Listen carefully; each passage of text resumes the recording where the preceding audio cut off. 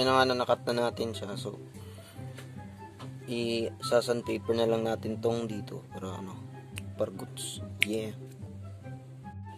So, ayun na nga ano, na sandpaper na natin siya. Yung gilid niya na sandpaper na din natin. So, what we gonna do next is the bending. I-bend natin siya pa, ano, sa may gitna. Para ma mag-fit in dyan sa, sa motor. Yeah. As you can see naman guys, tapos na tayo sa pagbe-bending. Oh. Tingnan nyo naman.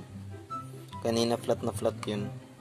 Siyempre, bago kayo mag-bending, sukat, bending, sukat, bend, sukat, bend, sukat, bend tayo. Para ano, para magkasya talaga siya. Tapos, nag-cut na rin ako dito sa gilid.